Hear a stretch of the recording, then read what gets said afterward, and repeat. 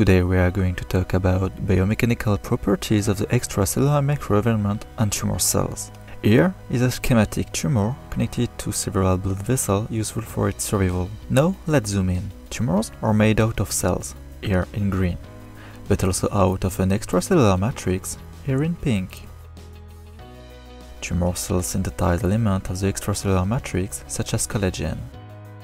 When there is more matrix, the extracellular environment becomes stiffer. The more matrix, the stiffer the environment. Here is shown a schematic matrix, softer on the left, harder on the right. But how does a cell behave in a stiffer environment?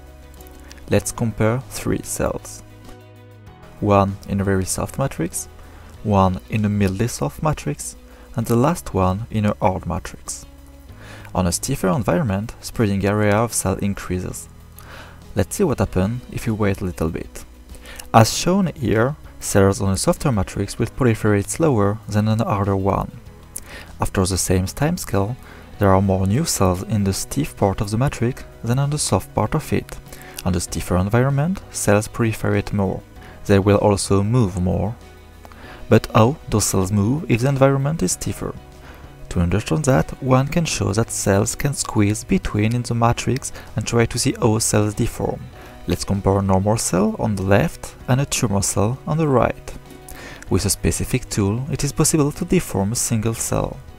The aim is to trigger a controlled deformation of the cell and observe the force applied directly on the cell.